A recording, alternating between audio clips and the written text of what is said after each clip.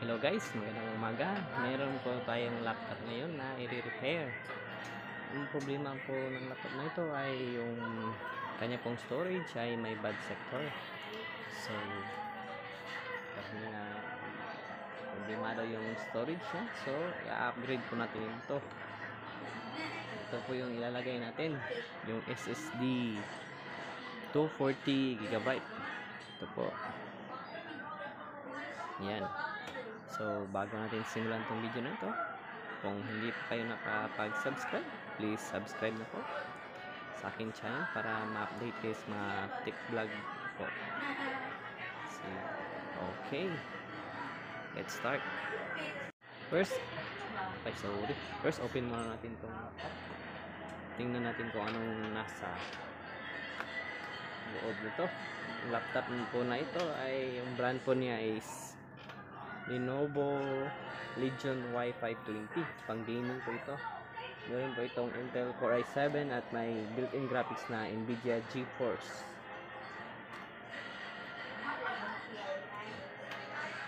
Open na po natin.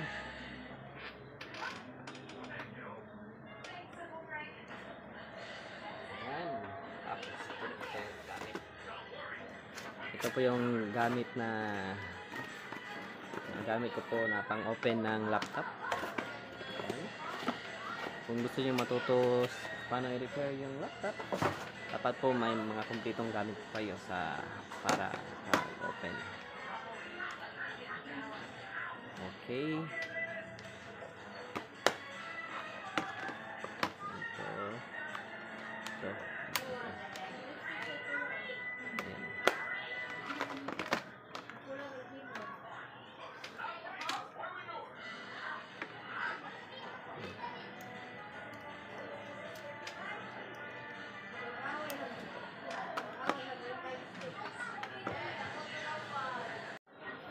Yan. Open na ba? Start natin yung operation. Dapat maingat po kayo kung mag-open kayo ng laptop para hindi mabasag po yung LCD sa harapan po niya.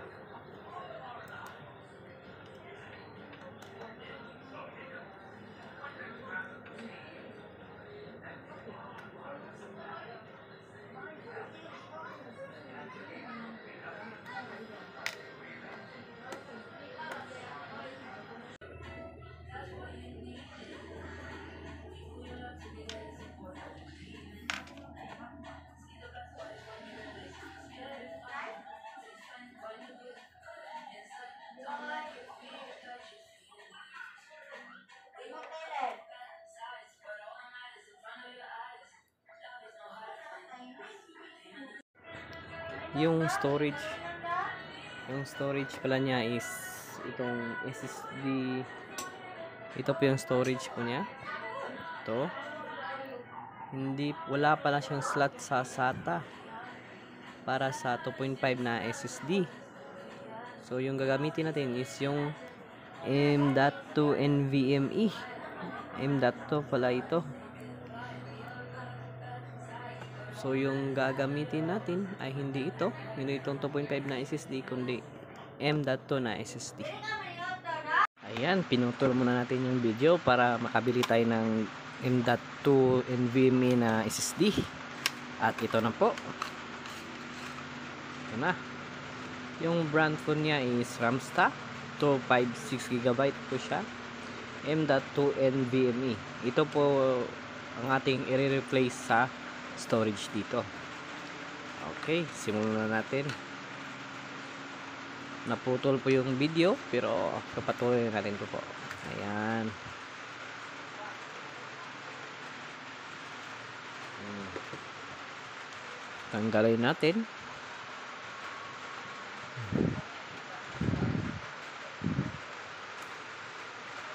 Yan ganito lang po pagtanggal. Isang screw lang po yung nakalagay sa kanyang storage po. Hmm. at ayan tanggal na. Ito. Ito po yung brand po ng kanyang in, in dato NVMe is ano ito? Brand dito kaya hanapin natin. Wala mukhang wala siyang walang brand na nakalagay. Ah, walang brand.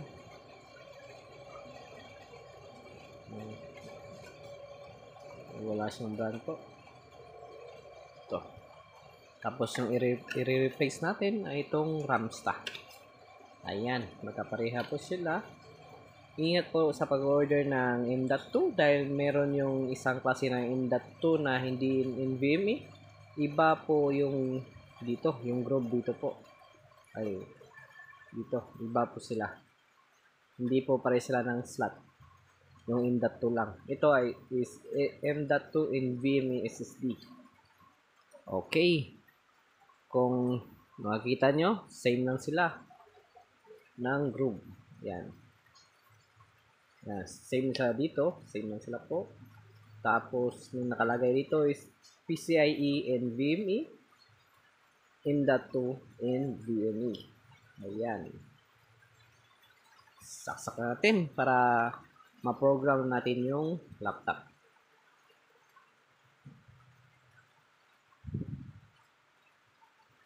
Ayan. Pwede niyang kuan. Yung screw niya. Ayan. Ganito lang po yung pagka tanggalin ko muna baka na-blurred yun kanina yan make sure na hindi siya baliktad ay ayan. Make sure siya na sakto yung pagkalagay nyo para ma-detect siya pag open ng laptop. Ayan. Ayan ayan. Ayos.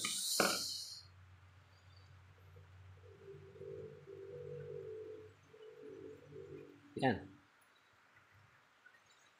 Next, ibabalik na po natin tong ating yung casing niya.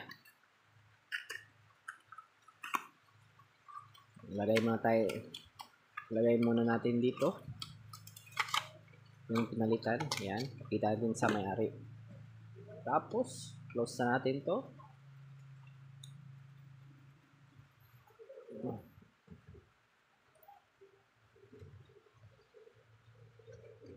Yan. Ingat-ingat lang po pa baka ah, huwag masyadong lagyan ng pwersa yung pag-press nyo sa piece nyo po. Okay, balik natin itong mga screw.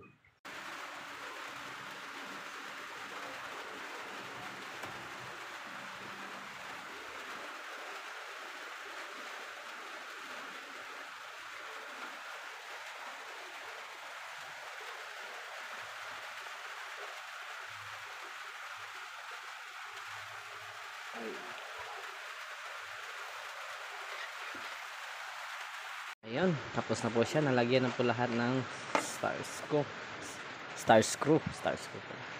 Yung, ay, nabalik na pala yung mga screw. Yun. Ayan. Try natin yun yung laptop. Open natin. Ayan. Magandang laptop po to. Pang gaming. Medyo malak malikabok lang. Pero maganda pa rin. Tapos try natin yung on kung na-detect yung storage. Ayan, punta tayo ng BIOS by, press, by pressing del at F2. Ayan. Tap. Ayan. Eh, close out natin. Close up natin. Ayan, kung makikita nyo, yung storage po is Ramsta R900 M.2 NVMe SSD 256 GB. Ayan. Uh, det detected po siya at successful po yung pag pag-install ng NVMe SSD. Pagpapalit ng NVMe SSD po. So, yung specs ng laptop ay Intel Core i7 7700 HQ series. CPU clock, uh, CPU at 2.8 GHz. Ah, mabilis ito. Magandang specs. At meron siyang 16 16 megabyte na memory. Ah, 16 gig na memory. Megabyte. 16 gig na memory. Mali pala yung megabyte. 16 gig memory. Yan, tapos na po. Next pong gagawin ko po dito is i-installan ko po siya ng mga program.